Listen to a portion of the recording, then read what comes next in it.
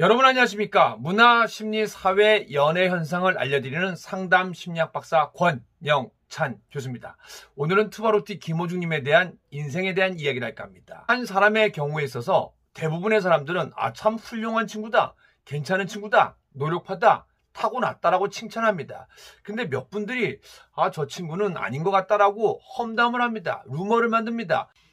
거기엔 아마도 특별한 목적이 있는 것 같습니다. 김호중 씨에는요, 개그맨 현병수, 또 가수 진시몬 씨, 가수 김민교 씨, 그리고 배우 이재룡 씨 등 아주 많은 사람들이 칭찬을 하고 도와주려고 합니다. 그런데 지난 2017년, 18년, 19년 에이전시 역할을 맡은 우리 권성진 씨는 처음에는 잘 지내는 듯 싶었습니다. 김호중 씨 행사를 통해서 어느 정도 뭐 일정 부분 수익을 올린 것 같습니다. 근데 여기서 더 중요한 거 2020년 미스터 트롯에서 갑자기 폭발적인 사랑을 받으면서 우리 김호중 씨가 뜨고 또 생각을 보여주는 엔터테인먼트랑 계약을 하자 갑자기 돌변합니다. 사실은 우리 권성진 씨는 에이전시지 매니지먼트가 아닙니다. 근데 우리 권성진 씨는 뭐라고 했습니까? 호중아, 너 돈 많이 벌었지? 너 1억 3천만 원만 줘. 너 내가 친형 같아서 하는 말인데 호중아 돈 많이 벌었지? 형 수익의 30%만 줘. 너 군대 기간은 재해줄게. 이게 말입니까? 막걸립니까? 호중아 돈 많이 벌었지? 형 1억 3천만 원만 줘. 너 그리고 내가 친형 같아서 하는 말인데 너 군대 기간 제외하고 수익의 30%만 줘. 1억 3천만 원만 줘. 수익의 30%만 줘. 돈 좀 줘.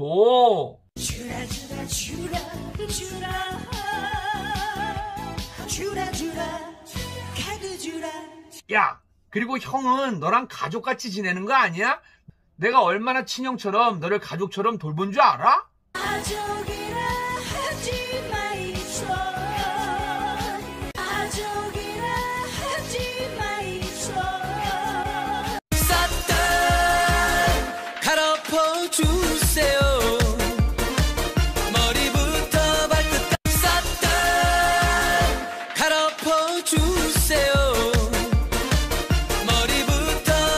그런 데에 비해서 MBC 복면과왕에서 김민교 씨가 나와서 마지막 승부를 부르는데 패널로 참석했던 김호중 씨가 눈물을 보입니다. 그리고 그 사연을 이야기합니다. 김민교 씨는 우리 김호중이 무대 뒤에서 힘들 때마다 열심히 해. 호중아, 넌 잘할 수 있어. 넌 대한민국 최고 될 수 있으라고 칭찬해 준 것 같습니다. 그 화면 잠시 보도록 하겠습니다.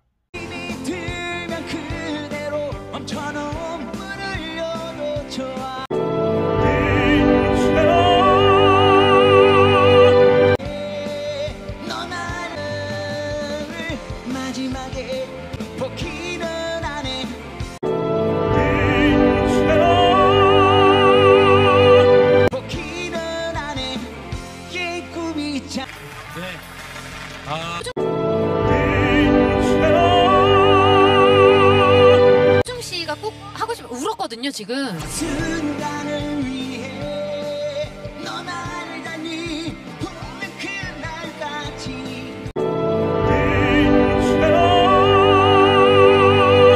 노래를 못 하고 있을 때 예. 그 선배님 뭐 공연이나 이런 행사 때 많이 무대 뒤에서 많이 뵀었거든요. 아. 그럴 때마다 항상 이렇게 응원의 말도 많이 해주시고. 네. 언젠가는 꼭 좋은 날이 올 거라고 말씀 많이 해주셨던 선배님이신데 이 자리에서 오늘 마지막 승부를 들으니까 아, 뭐 감정이 이렇게 좀 기차에서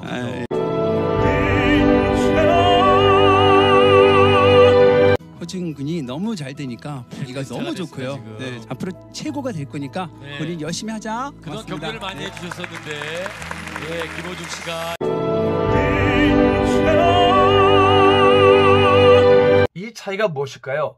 자신을 친형 같은 가족 같은 사람이라고 소개하면서 권성진 씨는 김호중님에게 수익의 30%를 달라고 합니다. 군대 기간을 제외하고요.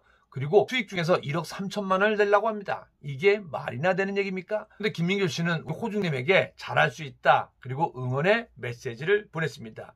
이 한 건만이 아닙니다. 또 한 건이 또 있습니다. 자, 그러면 앞서서 우리 권성진 씨의 주장을 화면으로 보겠습니다. 호중아, 돈 많이 벌었지? 형 1억 3천만 원만 줘. 너 그리고 내가 친형 같아서 하는 말인데 너 군대 기간 제외하고 수익의 30%만 줘. 1억 3천만 원만 줘. 수익의 30%만 줘. 돈 좀 줘. 주라 주라 주라 주라 주라 주라 카드 주라 야 그리고 형은 너랑 가족같이 지내는 거 아니야? 내가 얼마나 친형처럼 너를 가족처럼 돌본 줄 알아? 가족이라 하지 마이소. 가족이라 하지 마이소. 싹다 갈아엎어 주세요. 머리부터 발끝까지 싹다 갈아엎어 주세요. 머리부터 발끝 이번에는 진시몬 씨 얘기입니다. 우리 진시몬 씨가 불후의 명곡에 나가서 우리 김호중님과 나눴던 이야기를 제가 화면으로 재편집해 봤습니다.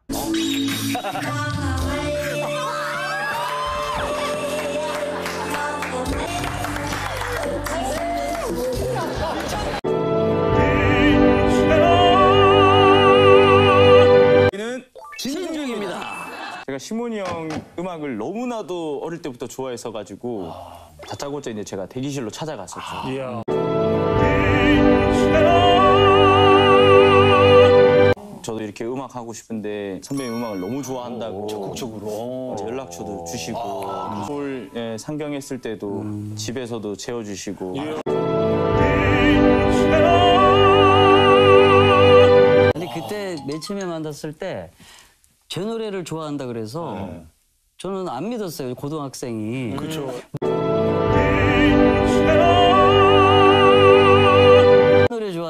둠바둠바 뭐 애수 애원 이런 거 좋아한대요. 그럼 둠바둠바 한번 해봐라. 했더니 또 잘하더라고. 아 진짜구나.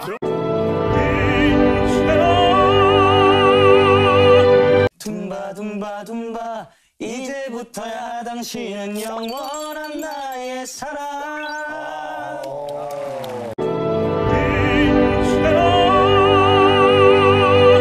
자식보다 자네가 좋고 돈보다 자네가 좋아 자네와 난 보약 같은 친구야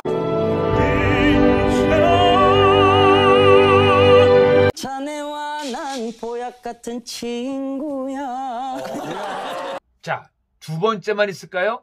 자, 이번에는요, 제가 오늘 여러분에게 보내드린 또 한 명이 있습니다.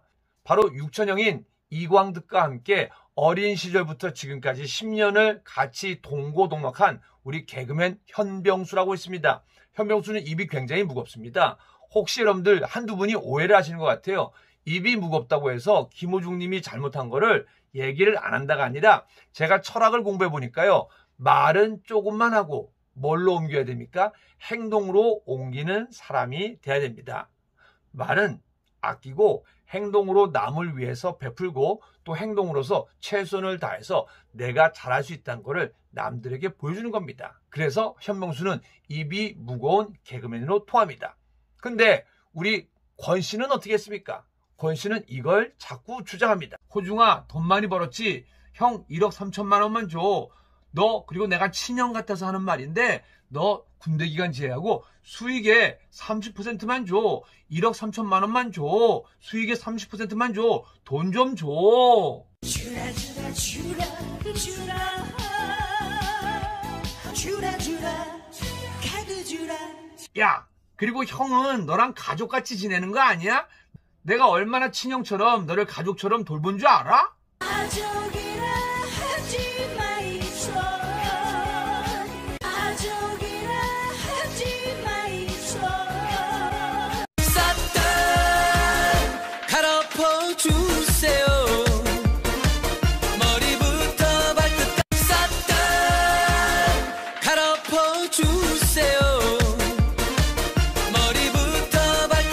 우리 현병수가 기억하는 김호중의 모습은 어떤 모습일까요? 그래서 뭐 누구나 다 응원할 수 있는데 그래서 느껴지는 부분은 친하지 않으면 쓸 수 없는 그런 느낌을 받았어요. 한때 그 호중이가 처음에 스타킹 나왔을 때 호중이 사촌 형, 제 개그맨 후배고 생각을 보여주는 네. 생각을 보여주는. 그래서 이제 저 후배들이랑 같이 네 다섯 명이 같이 살았어요. 아, 한, 한 집에서요? 한 집에서요. 어, 한 그때 집에서. 누구누구 살았었나요? 그때 같이 살았던 친구들이 제가 코너 같이 했던 아, 친구들인데? 어.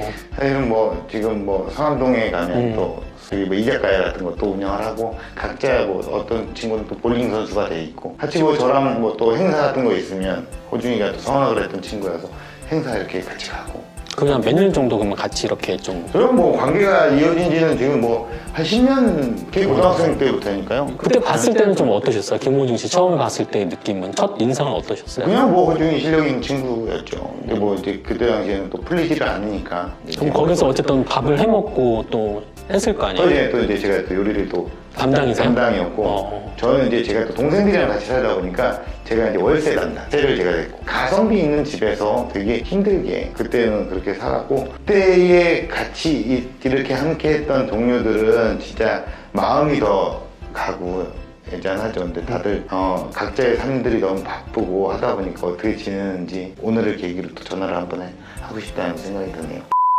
이번에는 네 번째 예입니다. 김호중 주에는 많은 권씨가 있습니다. 권성진 씨, 권선옥 씨, 그리고 권영기, 권자를 빼서 연기로 활동하고 있습니다. 그리고 권영찬 교수가 있습니다. 무슨 얘기냐? 똑같은 권씨인데 이들의 행보는 다릅니다. 우리 권씨는 뭐라고 했습니까? 항상 이렇게 얘기합니다. 호중아, 돈 많이 벌었지? 형 1억 3천만 원만 줘. 너 그리고 내가 친형 같아서 하는 말인데 너 군대 기간 제외하고 수익의 30%만 줘. 1억 3천만 원만 줘. 수익의 30%만 줘. 돈 좀 줘.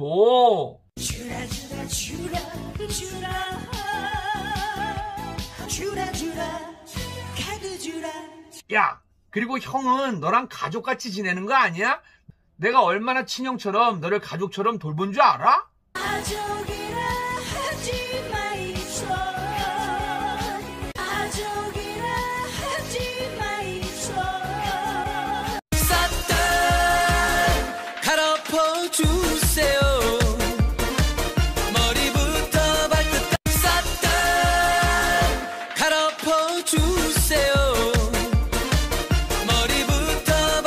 발끝 연기랑은 김호중과 아주 친한 사이입니다. 그러면 역시 KBS 불후의 명곡에 나갔을 때 그 두 형제의 주거니 받거니 하는 재미난 얘기를 한번 들어보도록 하겠습니다. 지금 같이 한 집에 살고 있거든요. 아, 그래요? 네. 연기 형 방하고 제 방하고 좀 떨어져 있거든요. 거리가 좀 이제 있는데. 네. 아, 알려달라 네가 어쨌든 간에 불의 먹고 나보다 선배니까 그러니까 형은 거기 빵 되게 맛있어요 뭐야 빵 되게 맛있대요 그래서 또 다른 거는 그러니까 아 그 빵 다 먹으면 리필이 된대요 아 뭐야 빵 얘기만 계속 하는 거예요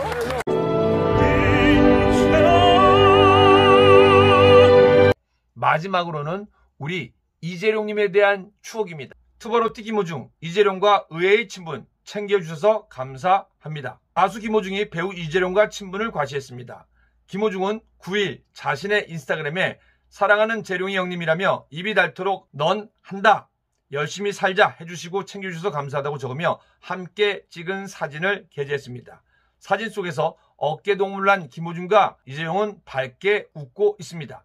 김호중은 지난달 20일 신곡 할머니를 발매하고 활동 중이며 이재룡은 1986년 MBC 18기 공채 탤런트로 데뷔해 드라마 사랑이 먹일래 그리고 종합병원2 등에 출연했습니다. 이 뉴스는 7월 9일 뉴시스로 나간 뉴스입니다. 네, 이렇게 한 사람에 대해서 대부분의 연예인 선후배들은 김호중 열심히 한다, 김호중 최고라는 칭찬을 해줍니다. 근데 유독 권성진 씨는 김호중은 전 매니저인 자신을 버리고 새로운 소속사인 생각을 보여주는 엔터테인먼트와 계약을 해서 배신의 아이콘이라고 했습니다. 누가 매니지먼트를 했습니까? 권성진 씨, 당신은 에이전시를 한 것이지 매니지먼트를 한 게 아닙니다. 매니지먼트를 했다면 매니지먼트 사업자 등록증과 함께 김호중님과 근로 표준 계약서를 보여주시기 바랍니다. 제가 오늘 이 방송을 특별히 만든 이유는 이게 김호중 씨와 권성진 씨의 일일 수도 있습니다. 그런데 여러분의 일일 수도 있습니다. 제 일일 수도 있습니다. 여러분들은 어떤 사람이 내 주위에 많기를 바랍니까? 권성진 씨 같은 분입니까? 아니면은 이재룡 씨, 진시몬 씨, 김민교 씨, 그리고 영기, 그리고 현병수 같은 선배가 있기를 바랍니까? 선택은 여러분의 몫입니다. 오늘도 즐거운 하루 되시길 바라면서 김호중 최고, 또 김호중만 최고 되면 안 됩니다. 김호중님을 사랑하는 마음으로 트바로티 아리스 한 분 한분 최고가 되시기 바랍니다. 지금까지 권영찬 교수였습니다.